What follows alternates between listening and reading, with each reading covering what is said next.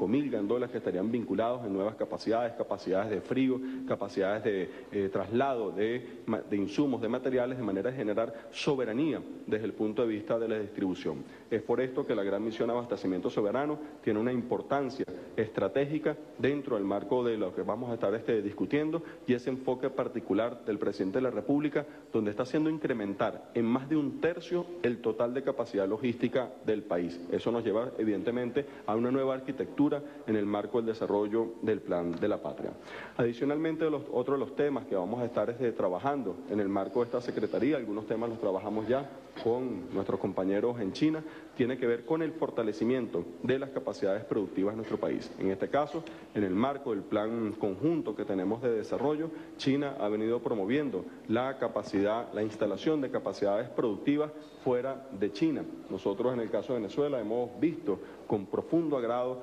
esta iniciativa que ha generado el gobierno de China y parte de lo que hemos venido articulando es cómo, en el marco de la agenda económica bolivariana, de cada uno de los 15 motores de desarrollo, precisamente fortalecemos las capacidades productivas, las capacidades operativas en nuestro país para precisamente generar el salto del rentismo petrolero, generar una nueva dinámica desde el punto de vista de la divisa y la generación de divisa, la diversificación del aparato productivo y adicionalmente poder generar esa transformación del equipo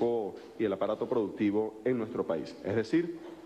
que uno de los temas que vamos a estar trabajando es precisamente la instalación de capacidades productivas de China en Venezuela vinculadas en el marco de la agenda económica bolivariana. Tenemos una agenda eh, sumamente intensa, vamos a estar trabajando de acá hasta el día miércoles, dos días de sesión profundos, el día de hoy, el día de mañana. Vamos a estar trabajando en sesiones eh, a puertas cerradas algunas, otras con amplia difusión. Vamos a estar también en campo, han aceptado gustosamente la invitación que hemos hecho a ver algunas experiencias donde esta relación se ve en nuestros barrios, se ve en nuestras comunidades, se ven los proyectos de desarrollo y adicionalmente vamos a contar con algunas presentaciones especiales por parte de nuestros ministros, como es el caso del tema de petróleo, como es el caso de capacidades productivas vinculadas a los motores de la agenda económica.